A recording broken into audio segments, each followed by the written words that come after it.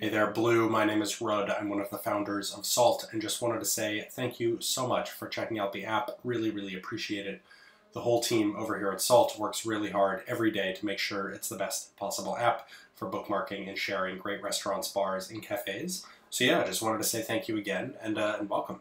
If you have any thoughts, questions, feedback, comments about the app, if you just want to reach out and say hi, or if we've missed in any way, we'd love to hear from you. Email, Facebook, Twitter, Instagram, any means of communication works.